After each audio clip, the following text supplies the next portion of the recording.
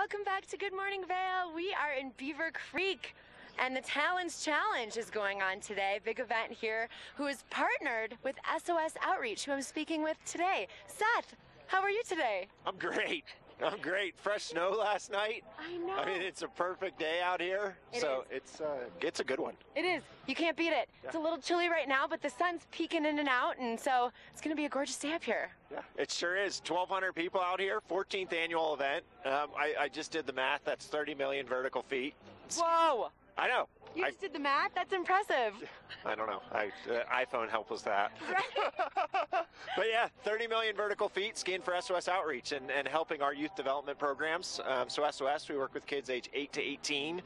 and we do skiing, snowboarding, rock climbing, backpacking, and then for every day of the program, uh, they're going to do a day of service learning and leadership development. So it fits really well with Talons, and we're just Right. excited to be here today. We're in all the lift lines, keeping everybody honest. So they tell us what runs. We're the ones punching the credentials and keeping you honest. That's part of our core values. Um, and then a portion of the proceeds all go to SOS and uh, support our program and our development.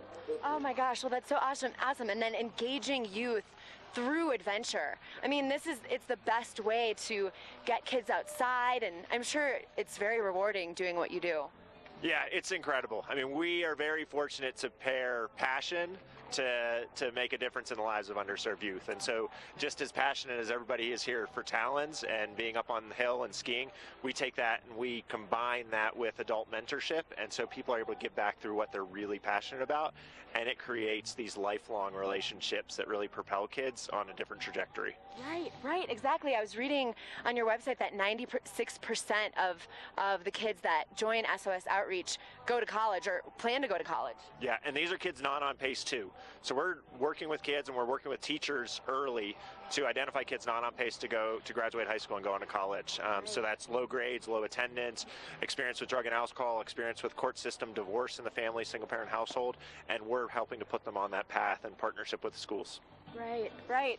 Oh my gosh, well it's so amazing what you do at SOS Outreach and so and you know, if so if people aren't weren't able to sign up in time for ta- to do the Talons Challenge, how can they help Yeah. SOS? So, two things. One, immediate, we have a team of 50 skiers. It's uh, Team Peter Johnson. And so they're skiing in memory of Peter Johnson, and there's 50 of them who are up on the hill today. Yeah. And they put up a challenge of $25,000. So they'll match dollar for dollar any donation received from someone participating in Talons Challenge. Or you can go on our website, sosoutreach.org, and make a donation and make that donation today. And they will match that dollar for dollar today, up to $25,000. Wow.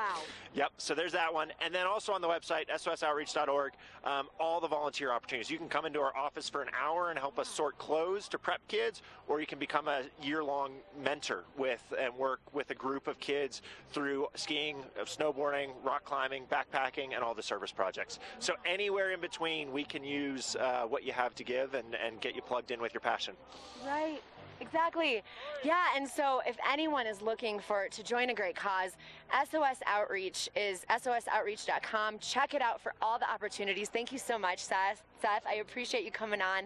Come out to Talons Challenge today. It's going to be a gorgeous day out here. And coming up next, we have your weather.